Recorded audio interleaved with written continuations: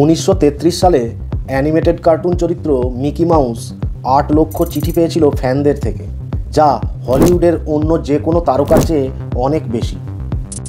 বিখ্যাত হলিউড অভিনেতা Johnny Depp তার ব্যক্তিগত জীবনে ক্লাউন বা জোকারদের মারাত্মক ভয় পায়। জিমি কার্টার একবার জর্জিয়াতে একটি ইউএফও দেখেছে বলে রিপোর্ট করেছিল।